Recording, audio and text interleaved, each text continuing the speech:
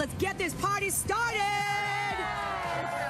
We're gonna start. Uh, we're gonna start with Ginger, Ginger Zee, and her team. Our first group of supermodels. Oh yes. So they're modeling skinny tees. So there's a range of tanks like the tie-dye one, longer tops like Sam's got on, and then the ruche side dress that Lisa, Lisa I like your on. dress. Yes, they look all amazing. And what's great about this line is there's a zillion different colors. It is size inclusive. There's tops, bottoms, dresses, you name it. Let me check it out. Let me you want to check it out?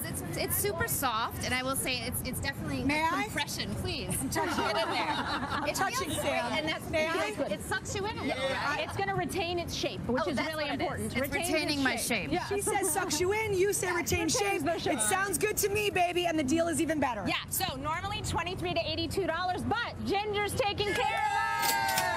11.50 to $36. Thank you. Nicely done, Awesome. Ginger Zee and G- and the Z team. Yeah, the Z team. Uh, next.